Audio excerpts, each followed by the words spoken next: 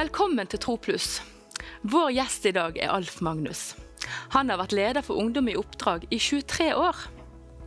Alf og hans krone Margareta har bodd på Grimerud i 40 år og fortsatt er aktive. De er opptatt av å spre ut Guds ord til Norge og verden. De har tre barn, elleve barnebarn, og alle er engasjerte i å spre ut Guds ord. Alf har magistergrad i religionssosiologi fra Universitetet i Oslo, der han studerte Haugevekkelsen og dens betydning for vårt samfunn i dag. Boken ble først utgitt i 1996 under tittelen 'Veirydder med gnagsår', og solgte i over 6000 eksemplarer.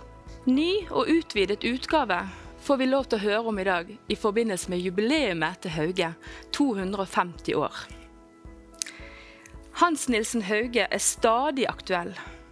En ny generasjon må bli kjent med vekkelsen som har rystet og forandret Norge. Vi gleder oss til å snakke med Alf Magnus i dag.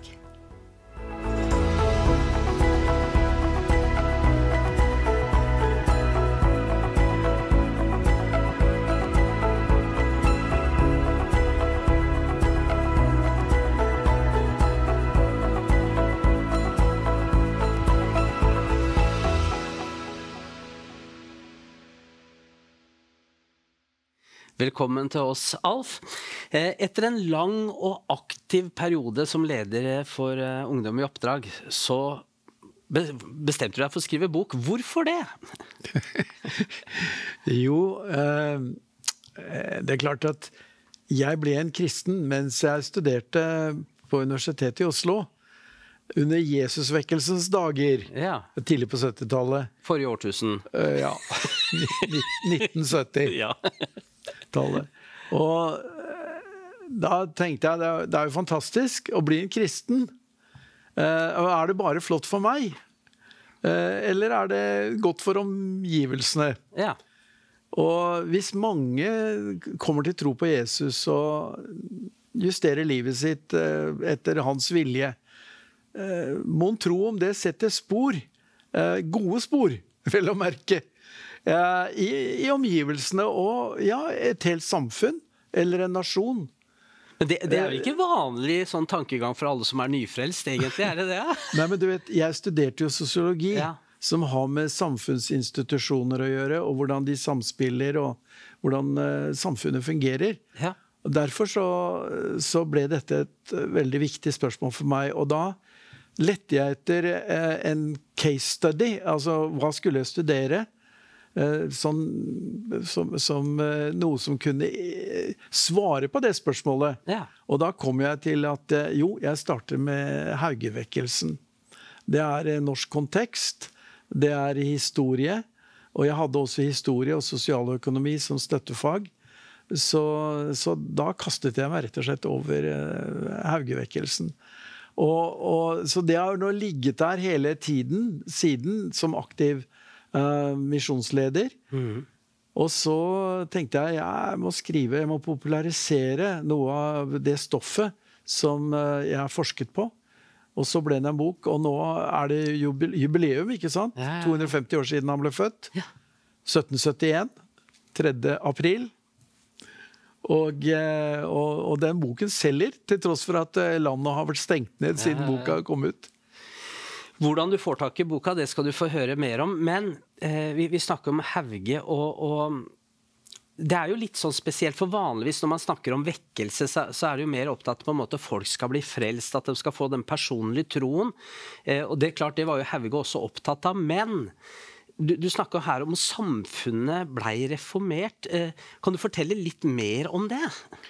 Ja, for det første så må jeg jo si det at Eh, det er nok ingen av oss som ville visst hvem han var i dag, om han ikke hadde hatt det der eh, møtet med Gud på åkeren. Ja. For som nettopp 25, feiret nettopp 25 års, fødsel, 25 års fødselsdag. 5. Eh, april, altså ja. bare to dager etterpå, så går han bak plogen hjemme i Østfold. Og bare den lille detaljen der er interessant, fordi Eh, det betyr at eh, Østfold var ganske fremskreden eh, jordbruksområde i Norge. På Jæren gikk de bare hakket i bakken. Ja. Og da gikk han og sang eh, på en salme som var veldig populær den gang, og som fortsatt synges i dag. 'Jesus, din søte forening og smake'. Og der er det en strofe i andre verset som lyder som følger eh, Meg og hva mitt er, jeg gjerne vil miste, om du alene i sjelen vil bo. Og, og det, det, som var interessant, det var at uh, han kom jo fra en gudfryktig familie. Far hadde husandakt både morgen og kveld. Mm. Og, og, han trodde nok på Gud. Han lengtet etter Gud, etter et møte med Gud, men han hadde ikke fred. Han hadde ikke noen indre relasjon med, med Gud. Men han lengtet, og ofte så, så ba han i fristunder. Hadde Nytestamentet på baklomma og fikk det frem. og eh, Lengtet etter og, og, og, og, sa selv at å, om jeg kunne bli et Guds barn. Kjenne virkelig at jeg var et Guds barn. Det, det var gjevt. Det, det var fantastisk om det kunne skje. Og så kommer han da denne dagen og synger denne salmen, og kommer til den strofen, og da bang! Skjer det noe helt spesielt. Hvor han blir overveldet av Guds kjærlighet. Og han sier, når han skriver om det 20 år senere, at det er som om det skjedde i går. Og da Guds kjærlighet så overvettes besøkte meg, sier han. Så jeg var utenfor meg selv. Uh, og, og opplevde Mens var på jobb, ikke, ikke, på et herlig møte med Nei, det var bare han og hesten. ja. og så Den hellige ånd, da. Ja. Og, og, du kan si det skjellsettende møtet han fikk med Gud den dagen, det forandret livet hans. Og det, mener jeg å kunne bevise, forandret Norge. Norge etter Hans Nilsen Hauge var et bedre land for alle. Ja enn det var tidligere. Dette setter jo kristen tro i, i Eller på en måte en, en, åndsopplevelse hos en kristen. Setter jo dette i perspektiv med at, det, at ett menneskes møte med Gud kan faktisk forandre en nasjon. Ja, det er, det er helt uh, ufattelig, nesten. Men det, nå har jeg studert uh, historie og og jeg må jo si det at eh, det er alltid et mindretall som forandrer historien. Okay. Tenk på det. Ja. Eh, det er ikke majoriteten. Det er en dedikert, overgitt, tent, bevisst eh, et mindretall som, som vil noe, og som satser, som er med å forandre historien. Hvordan er dette aktuelt for oss i Norge i dag? Jeg tror at uh, Vi er jo mange kristne fortsatt. Mm. Men hva var det som gjorde at Hauge kunne ha en så stor påvirkning? Og det, det tror jeg henger sammen med overgivelse nummer én. Yeah. Altså han var meg og hva mitt er jeg gjerne vil miste om du alene i sjelen vil bo. Han ble jo testet på det. Han ble arrestert elleve ganger. Han, den siste rettssaken varte i ti år. Han fikk en ødelagt helse og, og døde bare 53 år gammel. Eh, så han hadde bare åtte virkeår. Men det var den overgivelsen. Altså, det, det, nå var det ikke han selv som var kongen på haugen. Det, det, var Jesus som kom inn og styrte livet hans, for å si det på den måten. Uh, og, og, den overgivelsen, det var han også i stand til å hva skal vi si, inspirere og utfordre en hel ny ungdomsgenerasjon i Norge til å gjøre likedan. Ja. Og han gjorde disipler, rett og slett, som Herren Jesus. Og, og det vi skal være klar over, at det, dette, dette, var først og fremst en ungdomsvekkelse. Eh, så kommer, eh, etter hvert som årene går, så er det også eh, folk i voksen alder som kommer med. Men du, du sier han, var, han, døde 53 år gammel, hadde åtte år aktiv, men, men han satt jo lenge i fengsel. Men, men etter denne åndsopplevelsen ute på jordet, 25 år gammel, gikk han da rett ut i tjeneste, eller, eller hva skjedde i Hvordan begynte det? Jo, altså Han begynte jo med å Interessant nok ikke fortelle om opplevelsen. Nei. Men han begynte rett og slett begynte å spørre folk hvordan har du det. Og vet du, det var altså en sånn atmosfære som fulgte ham. Eh, han sier selv at jeg, det var som om det var et lys rundt meg, sier han. Ja. Og folk kunne begynne å gråte bare han stilte et sånt enkelt spørsmål. Så det var en atmosfære som fulgte ham. Et åndsnærvær som berørte mennesker. Eh, men nå må vi ikke tro at alle eh, liksom var søkk åpne og applauderte og omfavnet eh, det, det, tøffe budskapet. For det han fikk nemlig kall om, det var å forkynne omvendelse til det norske ja. folk. Så mange kontret, og, og, fordi det var en sånn sterk atmosfære knyttet til ham, så, så, møtte han veldig mye motstand. Han forteller at en dag så var han ute og hugg ved i skogen og gråt, sier han. Tårene flommet fra øynene. Og så, Gud, du, du, du valgt feil mann. Det, det, er ingen som hører på meg. Jeg er ubetydelig. Ja. Og det var han jo. Ja. Han var bunnsjiktet.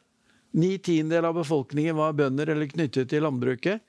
Uh, han var en ungdom. Uh, den gangen uh, var man ment å skulle bukke og ikke mukke, og stå mm. med lua i handa. Eh, ingen eh, bondegutt kunne finne på å skulle forkynne. Det var, eh, det var en liten elite som, som, hadde greie på Gud, og gjorde det fra prekestolen. Og her kommer han rundt og begynner å snakke til mennesker om Gud. Så han sier, Gud, du, du har valgt feil. Send en biskop. Kanskje en biskop vil de høre på. Og så svar, svarte Gud, sier han selv, da, opplevde at Gud sa at jeg har ofte valgt meg ut dem som gikk bak plogen og røktet fårene. Ja. ja vel. Ja, men da Ja, nei, da Da fikk det være slik, da. For, for han, han, det var jo ikke lovlig å holde, å forkynne og holde møter sånn som han gjorde, egentlig. Absolutt han, ikke. Han, brøt loven, han, ved å ja, tjene Gud, egentlig. Det, vi hadde i Norge på 1700-tallet, siste halvpart av mm. århundret, hadde vi vi hadde fått en lov i 1741 som het konventikkelplakaten. Det er jo et fremmedord som vi ikke skjønner. Men det var altså en lovregel om religiøse møter. Det var ikke lov å holde. Selv i private hjem. Eh, måtte, man måtte få myndighetenes tillatelse og en myndighetsperson som måtte være til stede for å kontrollere. Sånn var det. Og du kunne ikke reise innenlands i Norge engang. Man måtte ha pass. Ja. Og det fikk man bare hvis man var handelsmann eller en del av eh, forvaltningen. Så omstendighetene de lå ikke, til, til, rette for? Lå ikke til rette. Ikke på noen måte. Eh, nå, nå, skjønner jeg at du sikkert har lyst til å, å, høre mer om dette her. Og um, hvordan du kan få tak i boka og finne ut mye mer, det får du se på her.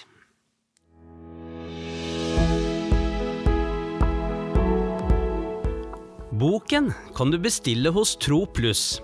Enten i butikken i Drammen, i nettbutikken tropluss.no, eller ringe oss på 32 83 52 95.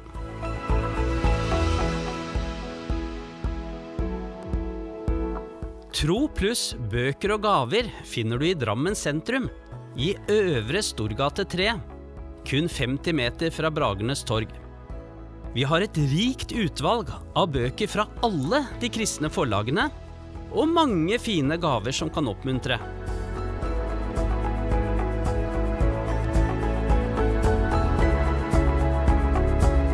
Velkommen innom oss i Drammen, eller besøk nettbutikken vår på tropluss.no.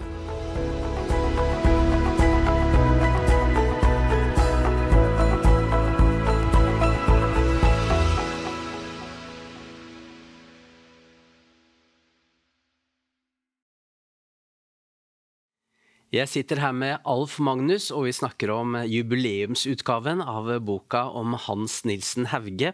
Og, og, Alf, jeg har eh, et par punkter her nå som jeg har lyst til å spørre deg. Hva tenker du om Hauge som mange tenker jo som håper jeg, en eh, vekkelsesbærer, eller hva du kaller det. Så planta det menigheter. Planta Hauge menigheter? Ja, det kommer an på hva du mener med menigheter, det. Ja. Eh, du kan si Det var jo ikke Når han gikk rundt, og, og, og rundt gikk han ja. Han kom så langt nord som til Tromsø. Og gikk de fleste dalføre i løpet av åtte år. Ja. Eh, 1500 mil, tror jeg eh, han gikk. Eh, og skrev litt, bøker. Altså. skrev bøker. Det, bare det var jo helt eh, merkelig. Ja, jeg har hørt at han strikka mens han gikk. Ja, Det er jeg ikke sikker på. Ikke for da tror jeg han hadde snubla. Ja. Men det jeg vet, er at han småsprang. Ja. Han hadde dårlig tid. Men eh, spørsmålet ja. Planta han menigheter? Det var det du spurte om. Og du kan si, han var jo ikke velkommen i kirka. Nei. Eh, Så hvor skulle han preke? Jo, han kom til gards, banket på, eh, lurte på om han kunne hjelpe til. Eh, Og etter å ha gjort det, så var det mulig å invitere til eh, samvær på kvelden. Kunne han få granner og naboer Ja, jo da. Eh, Det var heldigvis gjestfrihet. Hadde det ikke vært for gjestfrihet, hadde det ikke blitt vekkelse. Nei. Og så kommer folk strømmende til. Det var ikke så veldig mye som skjedde. Det var ikke så mange kanaler. Og, og da forkynte han om Jesus. Vende om og komme til Gud med livet sitt. Og da var det alltid noen som responderte. Ja. Og, og så dro han jo videre. Så det ble en liten krets, en liten gruppe, i, på hvert av de stedene han kom til. Ja, når, når, når mennesker blir kristne, så, så søker de hverandre. Ja. Eh, Og hvor, hvor, hvordan skulle de møtes? Jo, de møttes jo da i hjemmene. Ja. Så over tid så ble det rett og slett en husmenighetsbevegelse, vil jeg si. ja. Rett og slett. Det er spennende. Et nettverk av smågrupper rundt omkring. Derfor så har det gått opp for meg egentlig på en ny måte at Haugevekkelsen Det var liksom ikke én stor vekkelse, men det var mange små lokale vekkelser. Du vet, du har sikkert hørt, lært deg dette i ordspråket på norsk. Mange bekker små Ja. gjør en stor å. Ja. Ja. Eh, veldig spennende. Mange snakker jo om også husvekkelser i, i dag. At man møtes hjemme. Nå har vi jo hatt et spesielt år bak oss hvor vi ikke har hatt kunnet samles i store forsamlinger og, og ha det åndelige fellesskapet med mange. Men det har jo ikke hindra oss å være sammen med Gud. Så, eh, men hva kjennetegner også Hauge som evangelist, eller forkynner? Hva, hva, budskapet til Hauge, hva var det? Ja, det var jo det, det med omvendelse, for det var det Ja. Gud kalte han til. Og det syns jeg er interessant. I et folk som var 100% barnedøpt, 100 konfirmert, så fikk han beskjed unnskyld, av Gud å, å kalle mennesker til omvendelse. Ja. Så det gjorde han. Og så var det jo Ja, hvis du kommer til tro på Gud, så Den som tror, setter spor. Altså, det må være noen frukter. Ja. Det, det, må, det må ses. Det må merkes. Omgivelsene må kunne se at det har skjedd noe. Eh, Så han var opptatt av det at det må være frukter av omvendelsen. Og det tredje punktet hans det var dette med å forvalte det man var overgitt. Du måtte forbedre og utvikle det du Hadde du en gard, eh, så måtte, måtte den bli bedre. Ja. Eh, Og han var jo et praktisk geni, vil jeg mene. Og hadde jo vandret også gjennom Danmark og kjente Norge bedre enn noen annen i sin samtid. Og kom da med tips at de burde gjøre sånn og sånn, forbedre med redskapsbruk og etc. Og fordi de hadde fått tillit til han. Han var en av deres egne. Ja. Han var ikke liksom eh, øverst på samfunnsstigen. Så fikk de tillit, og så satte de i gang og fulgte rådene. Han skrev faktisk en bok om, om hvilke råd han ville gi eh, landmannen i Norge. Ja. Og da fikk du etter hvert, over tid, så fikk du en ny elite i Norge. På grasrota. Ja. Ute blant folk. For folk har luktesans, folk har øyne. Ja. De ser velsignelsen, de ser forandringen, og så justerer de eget liv og kopierer.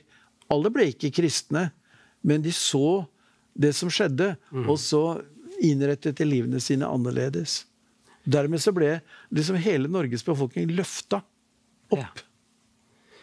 Eh, Du, du snakker om at han, han var med å starte bedrifter. Hvordan var Hauge som, som gründer? på en måte? Eh, Var det, var, det, var det hans bedrifter, eller hjalp han bare andre å starte ut, Han- uten at han hadde noe Du med kan det? si? Han ble jo arrestert elleve ganger. Ja. Det var jo brysomt. Ja. Stadig å havne bak lås og slå. Det var, lite, det kan det var en liten hemning. Så eh, hvordan skulle han unngå det? Jo, han kunne bli bedrifts... eh, Han kunne starte en landhandleri. Ja. Dessuten så kunne han da få folk i arbeid. Ja. eh, Og vi- han kunne avhjelpe nød. Husk på det, det er krig i Europa. Ja. Eh, Folk er fattige. Folk dør av sult, rett og slett. Eh, så han starter en bondehandleri i, i Bergen. Hvorfor Bergen? Jo, for der var det en biskop som holdt sin hånd over ham, Johan Nordahl Brun. Han fikk være i fred for myndighetene. Og, og, så fraktet han korn nordover og kjøpte fisk, saltet og brakte med seg sørover. Og etter hvert så vokste det. Han skaffet seg skute, en til. Han var skipsreder, han hadde en stor handel. Og så hadde han blikk for gaver og talenter i unge mennesker. Ja. Og du vet, det var store barneflokker. Én arvet gården. Hva skulle de andre gjøre? De kom til å synke sosialt. Og så sier han, du, hva om du dro til Kristiansand? Jeg har hørt at det er et trykkeri. Riktignok litt forfallent, men vi trenger jo det, for vi skal ut i bøker. Vi trenger Hva om du dro dit? Ja, men jeg har ikke så mye penger. Nei, men du, jeg kjenner noen og sammenslu... Eh, kooperativer. Ja, ja, ja. Det var en helt ny tanke uh, i samtiden. Og så fikk han bondegutter i gang uh, til, på nye arenaer, nye oppgaver.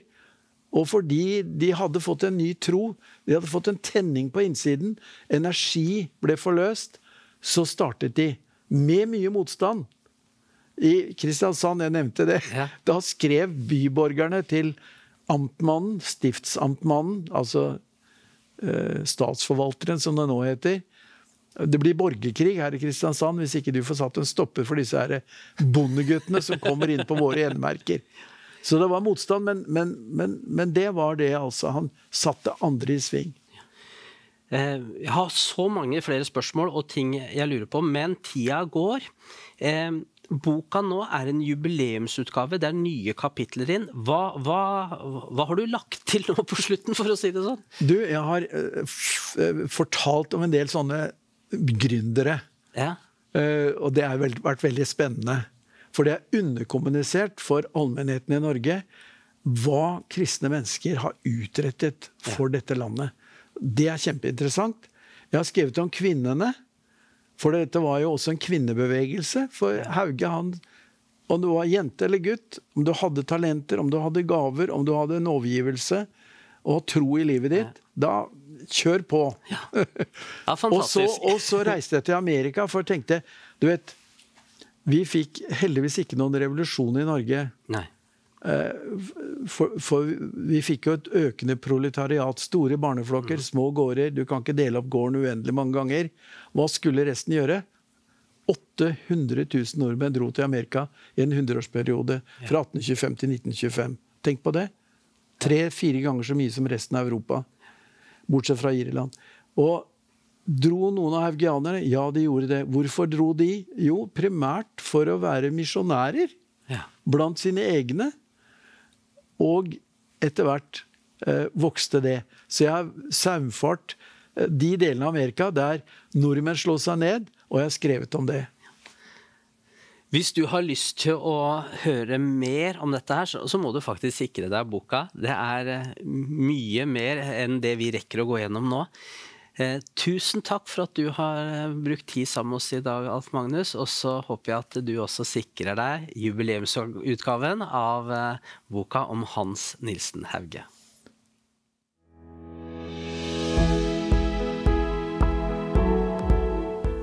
Boken kan du bestille hos Tro Pluss. Enten i butikken i Drammen, i nettbutikken tropluss.no, eller ringe oss på 32 83 5295.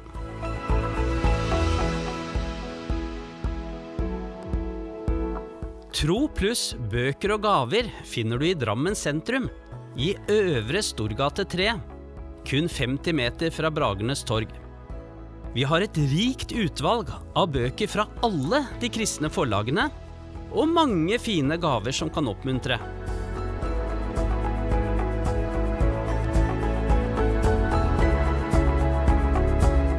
Velkommen innom oss i Drammen, eller besøk nettbutikken vår på tropluss.no.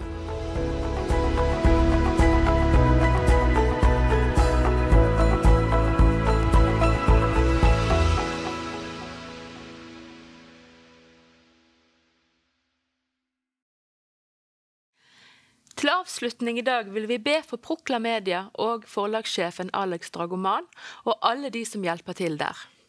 Gud, velsign salget deres. Velsign de og led de i titler de skal utgi. Velsign dem og vær med dem.